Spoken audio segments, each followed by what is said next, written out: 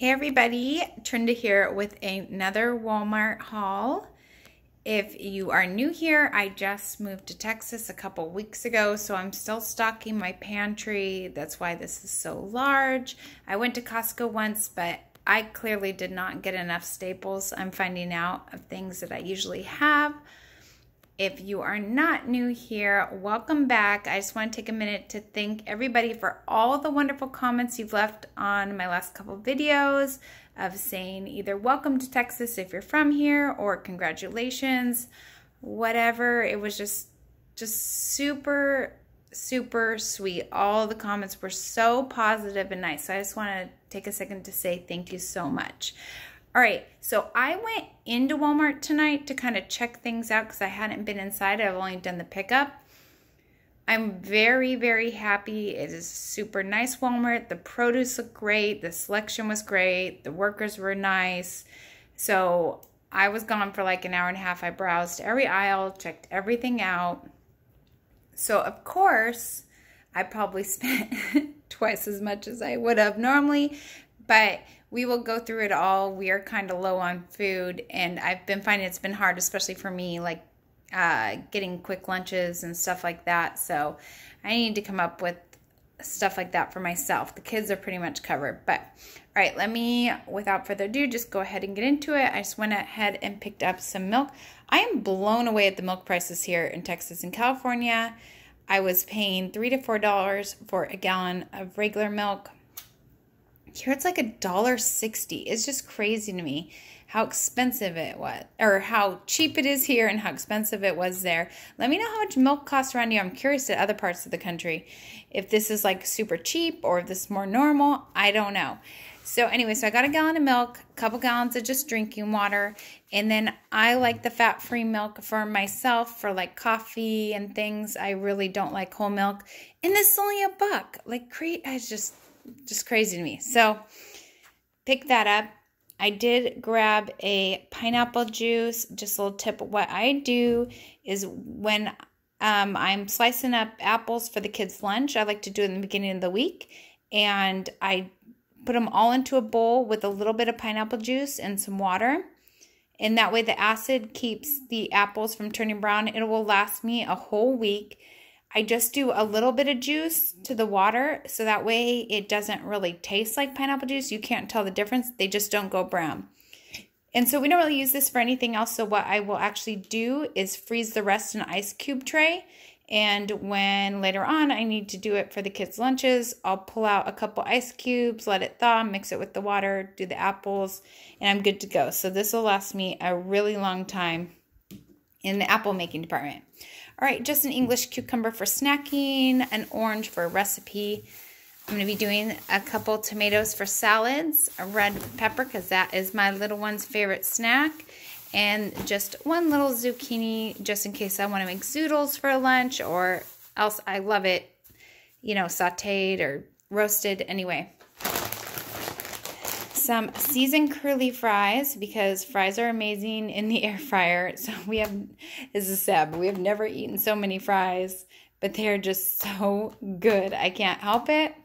Oh, and this little fine, I've never seen this diced jalapeno peppers. We love putting jalapeno peppers on like our hot dogs or different things like that to add a little spice. And I love that these are already chopped for you. So I grabbed that just some of these mini pancakes to throw in the freezer for breakfast. And then I thought these looked really good, these mini swirls. It's chocolate peanut butter, just little mini ice cream cones, so not too much. All right, I put this to remind me. Have you seen that on Pinterest where you wash these and before they are dried off, you roll them in a jello.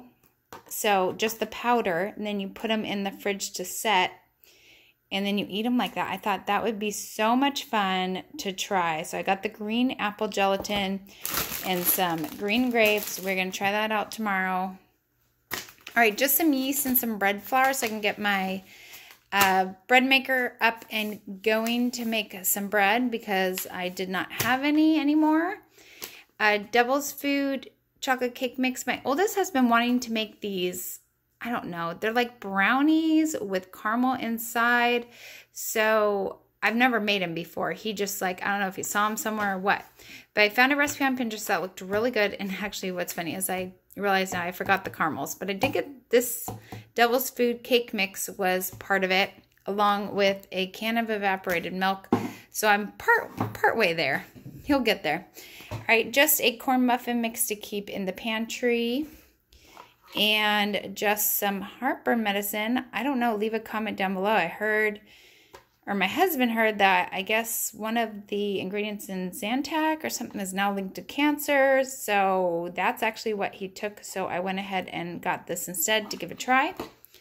A couple cans of cream of chicken soup. I plan on making uh, chicken noodle soup soon. And I actually use a can inside of that. It's really good. It just adds a little bit of creaminess. It's delicious. And whenever I make that, I chop enough ingredients for two. And then, so I will throw one in the freezer with all the ingredients. And what I do is I do all the ingredients except for the chicken stock. Sometimes I'll put this in the freezer, it freezes well, or sometimes I'll just leave in my pantry. And then, of course, I don't make the egg noodles ahead of time. And then all I have to do is add the chicken stock, maybe a can of this if it's not already in there, and then make the egg noodles or throw the egg noodles in. And it's perfect crock pot chicken noodle soup. All right, this is something I have not tried, but my kids aren't into sauces all that much, but they love wings. So this is like a wing seasoning mix. So you put it on and cook it with the wings. It's not like a sauce, so I'm going to try that out and see if they like. They like teriyaki sauce, so I thought that might be fun to try. This pumpkin cake roll was on marked down to 215, so I had to, of course, give that a try. We'll probably have a little piece and then uh, freeze the rest. Just some thick sliced bacon. Okay. Truth be told, I think I must have been hungry and on Pinterest because I saw a recipe where you chop uh, sweet potatoes really small and you wrap them in bacon and sprinkle them with brown sugar and bake them that way. I thought that sounded really good. So that is what that is for. And then this I thought would be good for salads. I love salads and this maple glazed pecan pieces, dates, and apple sounds really lovely. I love throwing like cranberries. I actually like uh, just cut up apples. So I've never tried dried apples, but that sounds really good. My oldest loves saltine crackers, so I picked up a box of that. And he also, for the first time, tried cream wafer cookies, and he has been dying for some more. So that'll be a special treat. I'll put a couple in his lunch. And to hang up, they have some posters they want to hang up. So we're going to try these damage-free uh, poster strips. And then this is random, but my oldest really needed a red pen for school and I could only find one in this kit. This was the cheapest, so we'll use the others. It's fine, but really I just wanted the red. And one thing that apparently did not make it in the move is toothpicks, which doesn't sound like a big deal until you are baking something that you need to check with the toothpick. I was making brownies the other day, and thank goodness they ended up okay, but I really needed a toothpick. I got some of those. Just some salsa to keep on hand. Oh, and I think I missed, this is our favorite, favorite granola. That is the, sorry, Cascadian Farms Oats and Honey Granola. Delicious. The whole family loves it. Just with milk or sprinkled on some yogurt. All right. My husband needs some stuff to keep uh, in his work truck. So I got this Mountain Trail Mix. It looked good. Um, I know you can get this cheaper in the bulk, but my problem is it it will probably sit in his truck for a little bit and he's not going to have them maybe on a regular basis. So I just don't want him to go bad. So I feel better paying a little bit more and having them individually wrapped. All right, I bought this because we do a lot of like, you know, salami and cheese or something like that. So I'm going to give this a try. I have this brand and they make one that's like um, you can put like crackers in a place for dip. We do pretzels and hummus a lot in it. It's a really good, really great container. So I'm going to give this a try and see how I like it. The other household items, the kids just needed some uh, more toothpaste, need some more dusters, and I used up all my candles before I went, and I've been dying for another candle. So I got this warm apple pie, and I had a sweet tooth when I went, and back home, it was really hard for me to find these. Sorry about the light there. Um, you know, obviously I know the Walmart by me now is going to carry them all the time, so I got to control myself. But These are so good. They remind me of my childhood, and I just love those. I'm going to try not to eat them all. Myself, anyways. Okay, so a couple things for myself. I just bought this uh, diced, already cooked chicken breast oven roasted to add to salads because I'm a big salad eater, but sometimes I just need a little protein. And before I can get back to Costco, because they have, um, you know, it's a much better deal to get the pre-cooked chicken, but I just bought that for now. And then, you know, I know I'm paying for convenience here too, but some just chopped up ham to add to eggs in the morning. That would be easy. Parmesan cheese, just the shredded kind. And then I just bought my kids as a surprise these great value lunch packs. These are a little bit better than the cheaper ones, just, you know, no nitrates and uncured ham and stuff like that. So I can feel a little bit better about giving them that. I just got ham and cheese for my oldest and my middle loves the pepperoni pizza. And then I'm going to get back to making my own Lunchables. And for that, I make my own pizza Lunchables and I use these little street taco shells for that. So this is what I'm, I just freeze them. Um, and he loves those. So they're just little mini street taco flour rounds, but they make great pizza shells for homemade Lunchables. All right, and then here we go, Sweet Tooth also, and the kids would love this uh, Saturday night when I'm filming this, so Sunday morning when they get up, they can have those. And then these were marked down. My husband's on call right now, so sometimes he gets called out really quickly.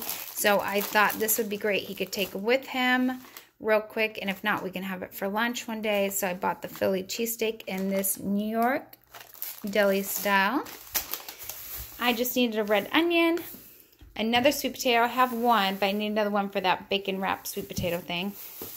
Uh, bananas, some peaches, a couple avocados that are not quite ripe. That no particular reason, just snacking. Some mayo. We do not use mayo really for anything except for sometimes in like chicken salad. A lot of times I will do fat-free Greek yogurt instead, but sometimes recipes just call for a little mayo. So this will last forever, so I just got that because that'll, I mean, honestly, it's good for, let's see, almost a year, and we probably won't go through it. That's how little, nobody really likes it too much in our house. All right, got these honey roasted cashews for my husband's truck. And then one more emergency little lunch or dinner for myself. This is my favorite frozen thing ever. It's the chicken margherita with balsamic. It is so good. So that I'll just throw in the freezer for emergency for me if I need food. And I got these for the kids. They love cotton candy flavored anything. I've never seen these, so I thought they'd love those because it is still warm here where I am, but it's supposed to cool down. All right, some egg noodles for the chicken noodle soup. And then I just got this tri-colored cauliflower blend. I thought that'd be fun for the kids to try. Just some corn on the cob to throw in the freezer for a side. The corn, fresh corn, did not look good. I don't know if it's out of season or if it's this area, but it did not look good. So we're just going to have that in the freezer. Some sweet potato fries for that air fryer. Then this one, I have bought, uh, this is probably my favorite vegetable blend. It is the broccoli, Italian green beans, carrots, baby corn cobs, water chestnuts, red peppers. And this one comes in a close second. Sugar snap peas, broccoli, green beans, sorry, yellow squash, red peppers, carrots, yellow peppers, and water chestnuts. It is hard to find stir fry mixes without mushrooms, and I do not like mushrooms. So these are amazing for myself. Some seasoned french fries, keep in the freezer. My kids are obsessed with these. Taste just like the Dorito shells that you get from Taco Bell if you've had them. They had them once and now they're obsessed. So these they like just as much. Really good. Just some tortilla chips to have. Some more cereal for the weekends. And I thought this was so cool. I've never seen this before. Texas toast thick slice. I plan on making French toast soon. And then I know I can get this so much cheaper at like Sam's or Costco, but I went ahead and bought this. These are the little bottles, 12 ounce. Um, it comes with six blue cherries, six green apple, and six grape. Actually, one of my kids stayed home this week, uh, I think because he was dehydrated. And I think what's happening is they are not drinking enough water at school. So even though they have a water bottle in the classroom, I'm going to start sending a Gatorade at lunch because not only will they down this because they'll be excited, but they'll get the electrolytes and stuff, and we'll see if um, that helps the problem. So I don't mind spending a little bit, and they're drinking water the whole day. And then if they have one of these at lunch, uh, I think that's okay. All right, a composition notebook because my oldest, his teacher asked for that. And then this, whoa, well, there goes one can. Oopsies. All right, this, I wanted to try this Lysol toilet bowl cleaner. I bought the cheap, you know, Walmart brand, and it just did not cling to the toilet bowl. It basically just ran down. Um, so I want to try a little bit better brand, so we're trying the Lysol, and this sounded good to have a fresh scent mango and hibiscus. All right, uh, this is what fell, one of these, but I got some insect repellent. I got actually three cans. Um, yeah, we're in Texas, so we're discovering that one can for the whole family or one, you know, spray is not going to cut it. My husband needs one for his trunk. Um, I'm going to keep an extra backup bottle here. And then I might keep one in my car or something. So when we, sometimes with my four-year-old, we just stop at the park randomly or something like that. We're going to have it because you need it here. All right, almost done, guys. I got some of these um, snack sticks, kind of like beef jerky things um, for my husband to keep in his truck. And then he actually really likes this hot dog chili sauce. It's super cheap. It's like 50 cents a can, but he really likes them when we have hot dogs, so I like to keep a can in the pantry. And then one spice that did not make it is the cayenne pepper. So, you know, if you've used cayenne, a little goes a long way. So I'm fine with getting the little jar. And then some pizza sauce that actually in the ingredients really, you know, it didn't look like it was too bad. I usually make my own, but I was just kind of being, you know, I'm still getting settled and um, I still have the time for everything. We're still unpacking everything. So this will be for the lunch, homemade Lunchables. I just get this, that, some, I already have some mozzarella cheese and I already have some pepperoni and he'll be good to go for school lunches. And last but not least, I think I got, oh no, I missed a couple things. Um, is just snack on the run, um, chicken and barbecue sauce that looked good with crackers. That for my husband's truck, or if he does not find it um, appealing, I'll try it out. It looked good to me. All right, last things I see I skipped, which doesn't surprise me. Uh, this sliced pears in water. Uh, my middle son loves. Oh, I just saw it sweet with Splenda. oh, I thought it was just water. Oh, darn it. Okay, well, that stinks. But anyways, he loves canned pears. And when I had went to Aldi, they only had the kind in syrup. And so it's funny, I saw the ones in fruit juice, but then I saw this in water and I I thought, oh, that's probably even better, but I did not see Sweet with Splenda. I mean, he'll live, but good thing I only got one can. But mental note for next time, get the fruit juice one. Anyways, some sweet relish because we found out tonight we had hot dogs and we did not have any. And last but not least, I think are these hot, spicy maple bourbon pickles. I've been craving some spicy pickles. Uh, we have barbecued smoked pork a lot, like sandwiches and stuff, and I love spicy pickles on them. So I'm going to try these out. Because usually, sometimes we'll get the huge one from Costco, but that one, it takes up so much room in the fridge and it takes forever to go through. So, all right, if you made it to end, thank you so much for hanging around. Give me a hello. Let me know how milk, how much milk costs in your area. I'm super curious, and I will see you guys in the next video, okay? Have a great day.